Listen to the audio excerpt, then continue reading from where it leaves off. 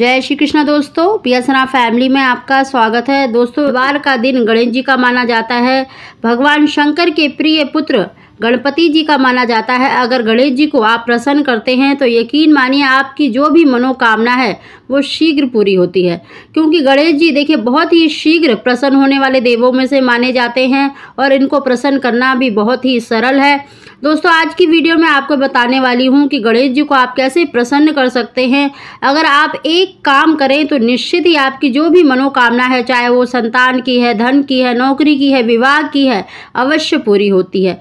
दोस्तों उसकी जानकारी देने से पहले अगर अभी तक आपने बी एस फैमिली चैनल को सब्सक्राइब नहीं किया तो सब्सक्राइब अवश्य ही कर ले, बगल में बेलाइकन को भी दबा दें, जिससे मेरी आने वाली सभी वीडियो का नोटिफिकेशन सबसे पहले आप तक पहुँच सके।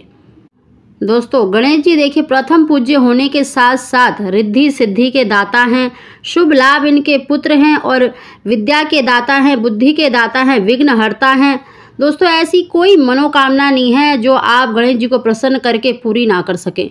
दोस्तों, गणेश जी को प्रसन्न करना भी बहुत सरल है। ये बिल्कुल बहुत ही शीघ्र आपकी श्रद्धा भाव से बहुत ही शीघ्र प्रसन्न हो जाते हैं, लेकिन बुधवार का दिन गणेश जी का माना जाता है और हरे रंग का बहुत अधिक महत्व बताया गया है। गणेश जी को सबसे अधिक प्रिय है। गणेश जी का दिन माना जाता है। इस दिन आप स्नान करके स्वच्छ वस्त्र धारण करें और इस दिन आप चाहे तो घर में भी पूजा कर सकते हैं। अगर आपके घर में गणेश जी की प्रतिमा है फ़ोटो है तो आप उसको मतलब चौकी पर स्थापित करके उनका पूजन कर सकते हैं। नहीं तो आप किसी भी मंदिर में जहाँ गणेश जी की प्रतिमा है वहाँ पर जाकर भी पूजा कर सकते हैं।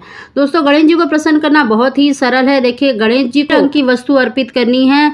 आपको देखिए गणेश जी का पूजन करते हैं तो आपको देखिए सिंदूर भगवान मतलब गणेश जी को बहुत ही प्रिय है तो आपको उनको सिंदूर अवश्य लगाना चाहिए। सिंदूर लगाने के बाद आपको अपने मस्तक पर भी सिंदूर अवश्य लगाना चाहिए, इससे गणेश जी की कृपा प्राप्त होती है। साथ ही दोस्तों, भगवान गणेश जी को और भगवान शंकर को देखिए, अक्षत बहुत प्रिय है, पवित्र चावल कहा जाता है, उसे कहा जाता है जो टूटे फूटे ना हो। और गणेश जी पर कभी भी, देखिए, सूखे चावल अर्पित नहीं किए जाते। आप पहले चावलों को थोड़ा सा भिगो लें, पानी से भिगोकर, उसके बाद तीन बार गणेश जी को आपको चावल अर्पित करने हैं। इस तरह से गणेश जी का पूजन करें और साथ ही देखिए, गणेश जी को प्रसन्न करने का सबसे सरल तरीका ये भी है कि आप गिनकर, आपको गणेश जी को देखिए, गिनकर जो हरी दुर्वा होती है, हरी घास होती है, उसकी पाँच अंकुर अर्पित करनी है और कभी भी, देखिए गणेश जी को जब हरी दुर्वा अर्पित करते हैं तो उनके चरणों में कभी नहीं अर्पित करनी चाहिए, उनके मस्तक पर अर्पित करनी चाहिए।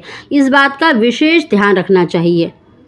साथ ही दोस्तों, जो हम एक वस्तु, एक काम जो आपको बता रहे हैं दोस्तों, अगर आपके पास, देखिए, अगर आप भगवान गणेश जी को भोग भी अवश्य लगाएँ, चाहे तो आप मीठे पान का भोग लगा सकते हैं, चाहे तो आप केले का भोग लगा सकते हैं, आप पाँच केले का भोग अवश्य लगाएँ, क्योंकि देखिए, केला जो होता है, दैविक फल माना जाता है, और गणेश जी को सबसे अधिक प्रिय भी है, और उनका, देखिए, प्रिय जो मोदक है, अगर आप मोदक ला सके तो मोदक का भी भोग लगा सकते हैं, नहीं तो आप केले का भोग लगा सकते हैं, मीठे पान का भोग लगा सकते हैं।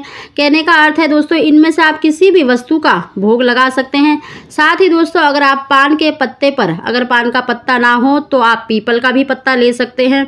उस पर थोड़ा सा गुड़ रखकर और हरा धनिया अगर हरा धनिया रखकर अगर आप गणेश जी को अर्पित करते हैं तो आपके जीवन की जो भी परेशानी है, जिस भी कार्य में आपके रुकावट आ रही है, वो अवश्य ही दूर होती है। दोस्तों, वैसे तो बताया गया है कि सात बुधवार अगर लगातार अगर आप ये एक काम करते हैं तो आपकी जो मनोकामना है, वो अवश्य पूरी होती है। जो धनिया होता है, जो सूखा धनिया आप मसाले में यूज़ भी करते होंगे तो वो थोड़ा सा आपको गणेश जी को अवश्य इस दिन अर्पित करना है। देखना आपको जो भी आपकी मनोकामना है वो अवश्य पूरी होगी। साथ ही दोस्तों देखिए, अगर आप संतान की इच्छा रखते हैं तो आपको एक माला का जाप अवश्य करना चाहे तो आप चाहें तो देखिए, ओम श्री गणेशाय नमः, ओम गण गणपते नमः, या फिर ओम उमापुत्राय नमः, ओम उमापुत्राय नमः का जाप कर सकते हैं, या ओम पार्वती प्रिय नंदनाय नमः। किसी भी मंत्र का जाप अवश्य करें क्योंकि अगर आप देखें संतान की प्राप्ति रखते हैं तो इनमें से किसी भी मंत्र का उच्चारण अवश्य करें। पार्वती के प्रिय पुत्र हैं, भगवान शंकर के प्रिय पुत्र हैं तो इनका आवाहन करेंगे, इनका जाप करेंगे तो शीघ्र ही आपकी मनोकामना पूरी होगी। साथ ही दोस्तों, इस दिन भगवान शंकर का पूजन अवश्य करें, उनका मतलब शिवलिंग पर जल अवश्य अर्पित करें, और माता पार्वती का भी पूजन अवश्य करेगी। दोस्तों, इस तरह से अगर आप भगवान शंकर का, माता पार्वती का, गणेश जी का पूजन पूजन करते हैं, उनको ये वस्तु अर्पित करते हैं। दोस्तों, सभी लोगों को पता है कि मतलब गणेश जी को ये चीज़ें पसंद है, लेकिन अर्पित करने के भी बहुत से नियम होते हैं। तो आप जब भी गणेश जी को चावल अर्पित करें तो ज़रूर भिगो कर ही अर्पित करें। और दुर्वा, यानी हरी घास, जब दुर्वा अंकुरित, जो अंकुर होती है, वो गिनकर आपको पाँच अंकुर या सात या ग्यारह अंकुर अवश्य अर्पित करनी चाहिए। पाँच, सात, ग्यारह, इक्कीस। ऐसे मतलब संख्या में ही अर्पित करनी चाहिए और कभी भी उनके चरणों में नहीं अर्पित करना चाहिए, चाहे तो आप उनके हाथ पर रख सकते हैं या मस्तक पर अर्पित करें। तो इस तरह से अगर आप अर्पित करते हैं तो गणेश जी बहुत ही शीघ्र आपसे प्रसन्न होते हैं और आपकी मनोकामना अवश्य पूरी होगी। दोस्तों, अगर आपको हमारी जानकारी वीडियो पसंद आई हो तो इसको लाइक अवश्य करें और कमेंट बॉक्स में ओम गणेशाय नमः अवश्य लिखें। आप सभी को जय श्री कृष्ण।